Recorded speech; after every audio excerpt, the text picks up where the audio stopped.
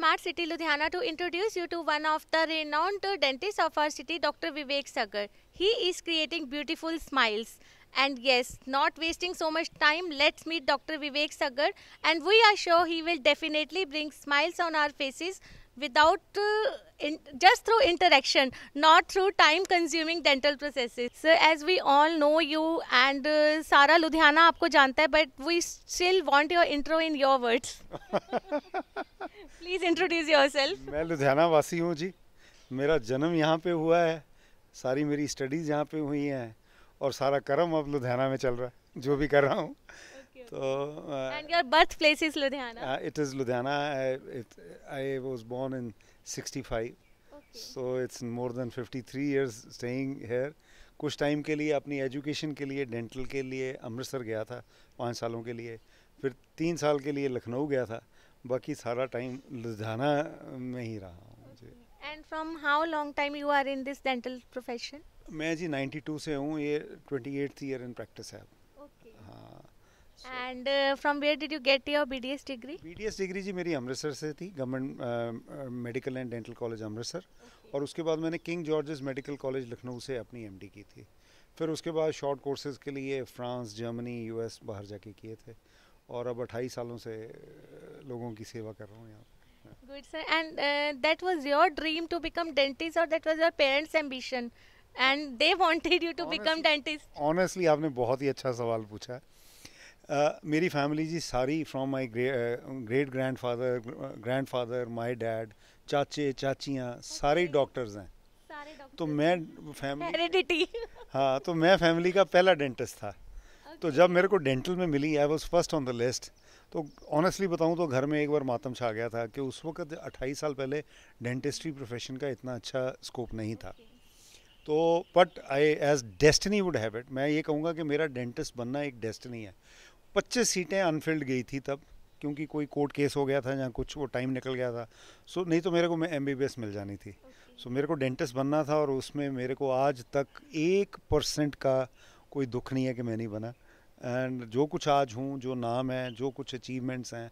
वो इसीलिए कि अभी मैं एक डेंटिस्ट हूँ दैट्स गुड कि आपको कोई रिग्रेट नहीं है ना जी ना ना it's such a wonderful line मैं तो ये कह रहा हूँ कि जब हमने शुरू किया था तो ये चैलेंज था कि इसको मतलब इतनी बढ़िया लाइन है. मैं हर बार हर एक को ये कहता हूँ कि कोई कार्डियोलॉजिस्ट बनता है कोई आ, अपना ऑर्थोपेडिशन बनता है तो उन लोगों को के पास जब पेशेंट आता है ना वो कुछ एक सर्टन एज के बाद आता है। आपके घुटने दर्द पचास के पास जाके ही होंगे ना हार्ट की आपको ट्रबल चालीस पचास के बाद ही जाके होगी।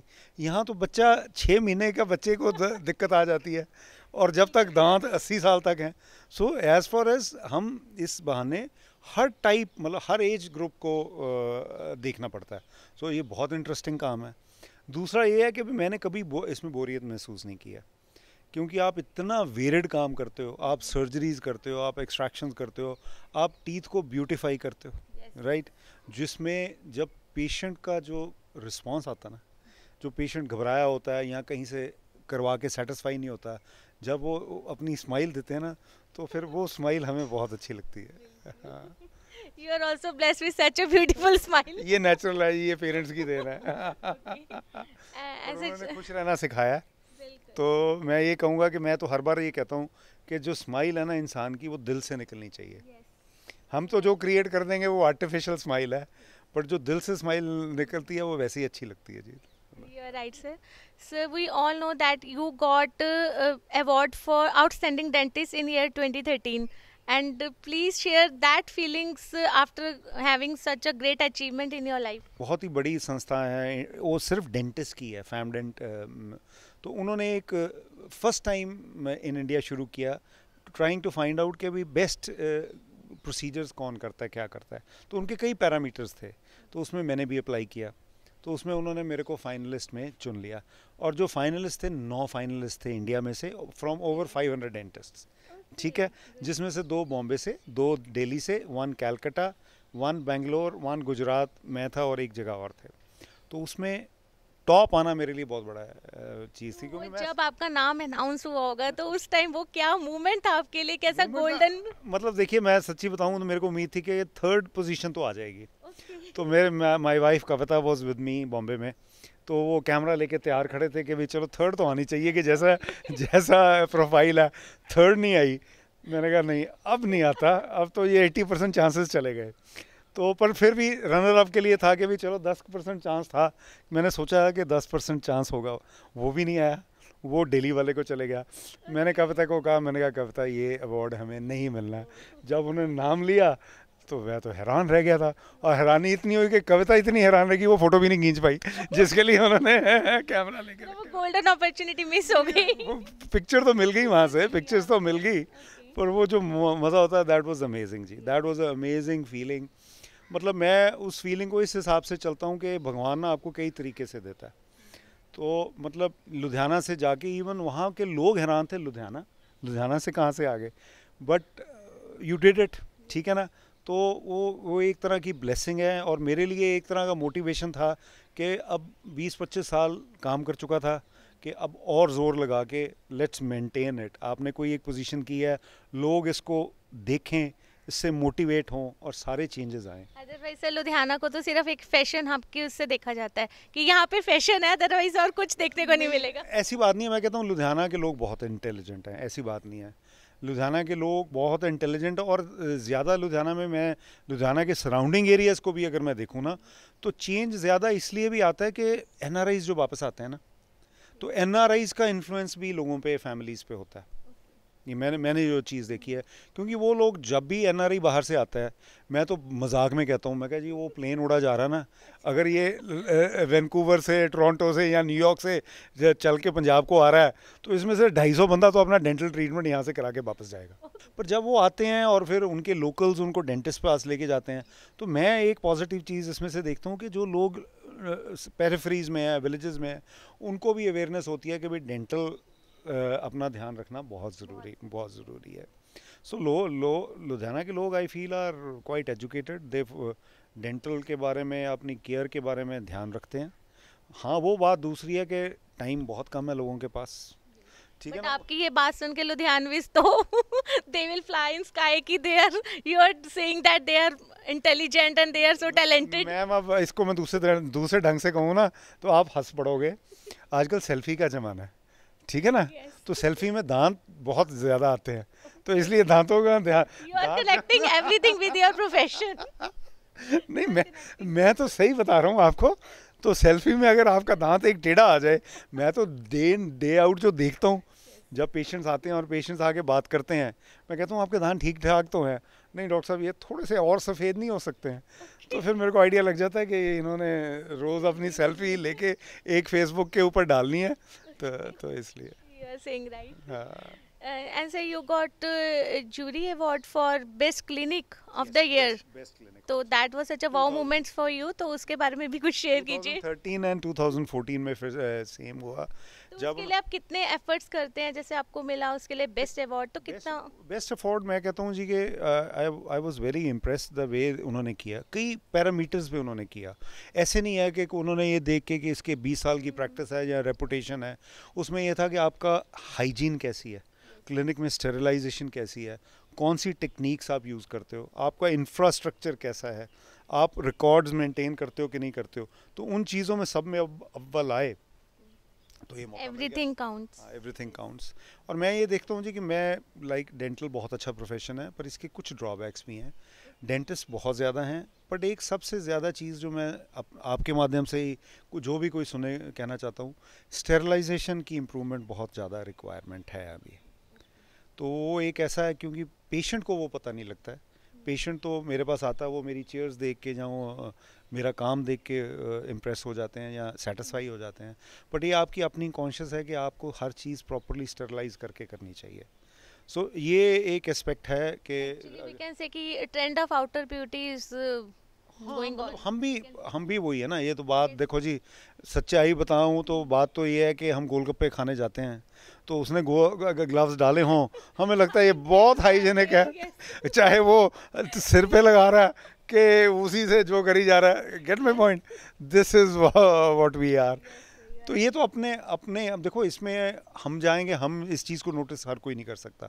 ये तो जो कर रहा है जो सर्विस प्रोवाइड कर रहा है ये ये उसकी कॉन्शियस है कि वो कि, उसको किस ढंग से कर रहा है।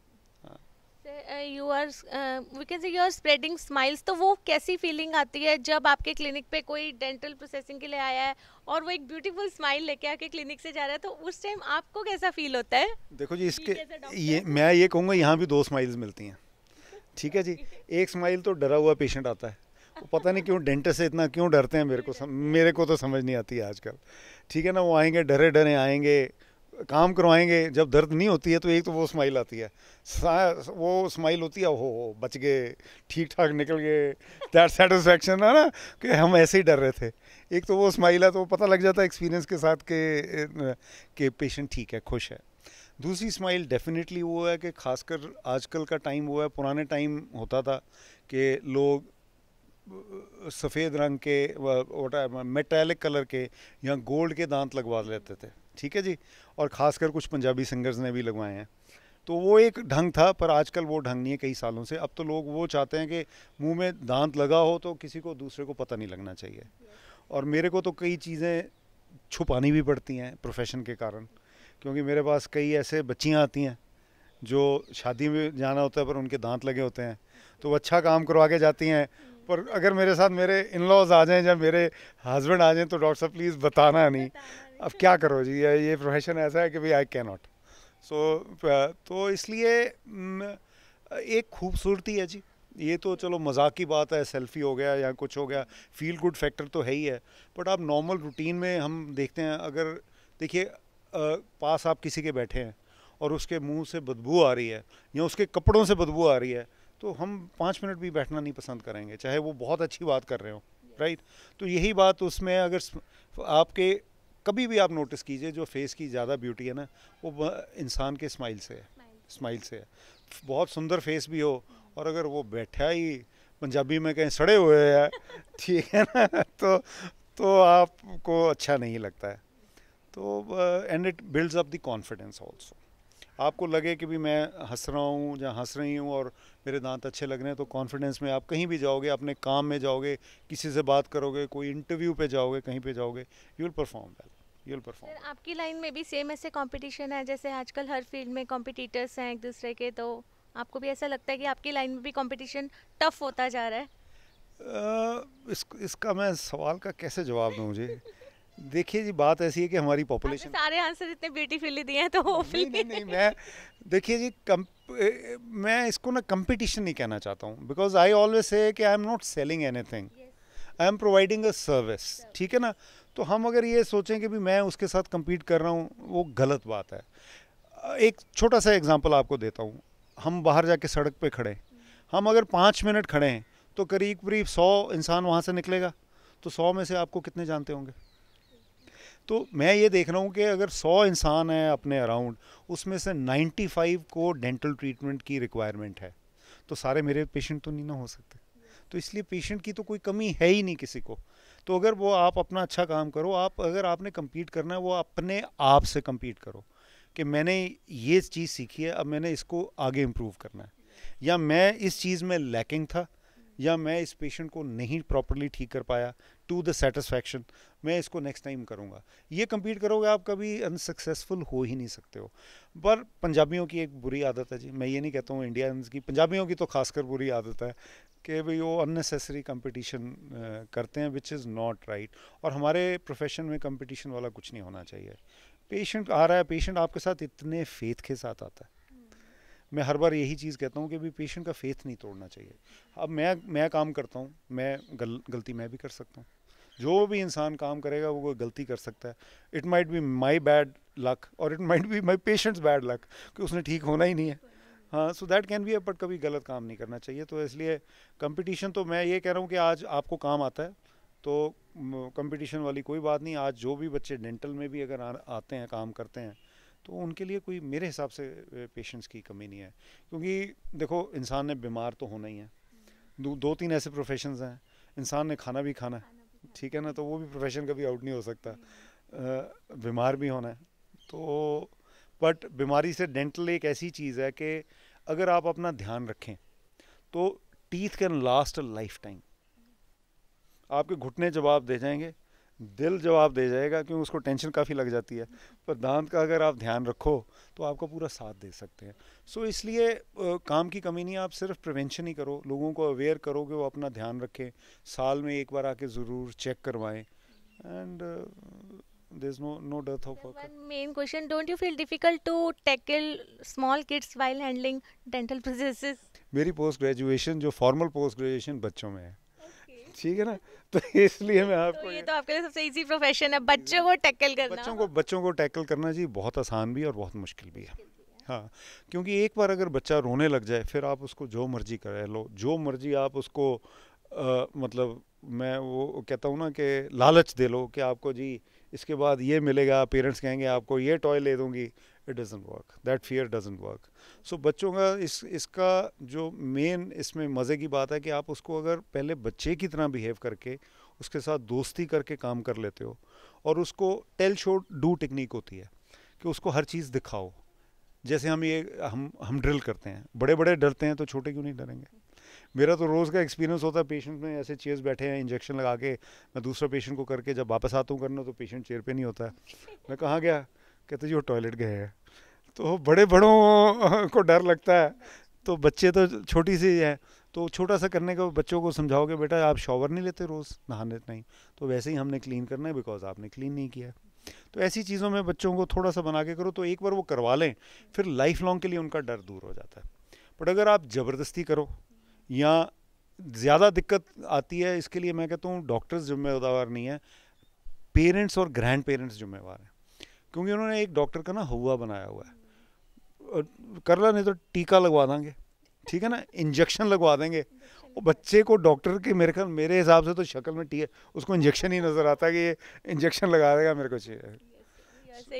हाँ तो इसलिए ना बच्चों को just they need to be tackled psychologically easily फिर they are very good patient मेरे मेरे मिसेज कई बार ना ये कहते होते हैं और कई बार उनको थोड़ा सा बुरा भी लगता होता है। वो कहते हैं आप कहीं फ़ंक्शन पे जाते हो कहीं जाते हो आपको बड़े भी बड़े अच्छी तरह मिलते हैं। छोटे छोटे बच्चे भी पीछे से आके आपको ग्रिप करके पकड़ लेंगे और करेंगे हेलो अंकल हेलो तो ये क्यों है?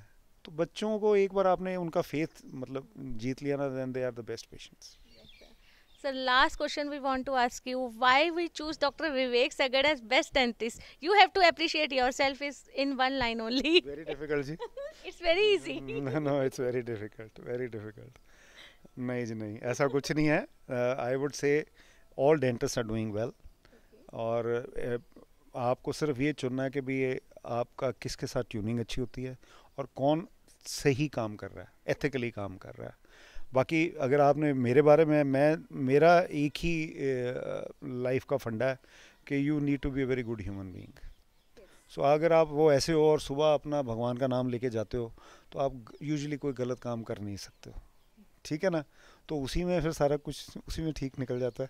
ठीक है। सर एक डेंटल हाइजीन के लिए एक सिंगल लाइन में आप प्लीज़ यहाँ के लोगों को मैसेज दीजिए कि उन्हें डेली रूटीन में कैसे अपनी प्रॉपर केयर करनी चाहिए। देखिए जी सबसे पहले तो brush twice day brushing is minimum रात को सोने से पहले ब्रश करना बहुत ज़रूरी है जो मेरे हिसाब से 70-80 परसेंट लोग नहीं करते हैं। अगर मैं आज सच्चाई से बोलूँ तो मैं भी कई बार मिस कर जाता हूँ। पर वो ये होता है लेट नाइट हो गए, कहीं हो गए, सुस्ती मार गए, ठीक है ना? तो गलत है, ऐसे नहीं होना चाहिए। रोज़ रात को ब्रश करना बहुत ज़रूरी है। सुबह ब्रश कीजिए। हर खाना खाने के बाद आप ज़रूर रिंस करिए। हम वो भी चीज़ नहीं करते, मैंने देखा लोग नहीं करते हैं। पुरानी हैबिट्स थी, मेरे पेरेंट्स में या बुज़ुर्गों में आज भी हैं, पर आजकल की जनरेशन उस चीज़ को भी नहीं करती है। थर्ड चीज़ ये है कि भी एक ना फ्लॉस यूज़ करने की आदत डालनी चाहिए। Okay. वो इंडियंस हमें हमको ज़्यादा नहीं है। मैं भी कई बार पेशेंट्स को समझाता हूँ तो कईयों ने मोस्ट ऑफ़ द पीपल ने देखी नहीं होती है पर वो कम्बरसम लगता है हर एक को। बट मैं ये कहता हूँ कि भाई आप 20-25 साल तक वो नहीं करते हो you can get away with it but as you age दांतों में चेंजेस आते हैं गम्स में स्पेसेस बनती हैं तो उसको फ्लॉस करने की हैबिट डालनी चाहिए। उससे और कुछ नहीं है तो आपकी एटलीस्ट 10-15 साल से आपके दांतों की लाइफ बढ़ जाएगी। थर्ड चीज़ मैं ये कहना चाहूँगा कि जो भी हमारे डायबिटीज़ बहुत ज़्यादा है शुगर बहुत ज़्यादा है, और शुगर में बाकी चीज़ें तो इफ़ेक्ट होती हैं। दांत और गम्स एक ऐसी चीज़ जो बहुत ज़्यादा इफ़ेक्ट होते हैं, और लोग इस चीज़ का उनको मालूम नहीं है। आई थिंक नोबडी नो लोगों को लोग पता है मैं ये नहीं कहता हूँ लोगों को पता पर मेजोरिटी को नहीं पता है। जब तक उनको पता लगता है तब तक नुकसान हो चुका होता है। सो so, जो भी डायबिटीज़ के पेशेंट्स हैं उनको क्लीनिंग प्रॉपरली अपने आप और साल में एटलीस्ट ए डेंटिस्ट से एक बार ज़रूर करवानी चाहिए। क्योंकि अदरवाइज़ गम्स में ब्लीडिंग और ऐसी चीज़ें ज़रूर आती हैं। बाकी आप नॉर्मल खाना खाओ खाने में फाइबरस चीज़ ज़्यादा खाओ। क्योंकि फाइबरस चीज़ जैसे एप्पल है आप एप्पल खा रहे हो खाने के बाद दांतों में कहीं पे कुछ फंसा होगा ना वो आपका एप्पल निकाल देगा। वो आपको साइड में कर देगा। च्विंगम खा सकते हो। च्विंगम आप खाने के बाद खा सकते हो। शुगर फ्री चिंगम चिंगम्स आती हैं। तो वो अगर हैबिट डालते हो एक तो उससे सलाइवा सिक्रीट होता है जो डाइजेशन में भी हेल्प करता है क्लीनिंग में भी हेल्प करता है प्लस कुछ भी जो चिपका होगा दांतों में बैक्टीरिया और वो वो भी सारे साफ़ हो जाते हैं। ये छोटी सी चीज़ें हैं इसके साथ दांत आपके चमक सकते हैं जी। आपके भी दांत बहुत अच्छे हैं। ठीक है ना? That was Dr. Vivek Sagar with us, who shared wonderful tips for dental hygiene and dental care. Please strictly follow his rules to take care of your uh, teeth. Cameraman Aman Deep के साथ Shipra Basrija Times Punjab TV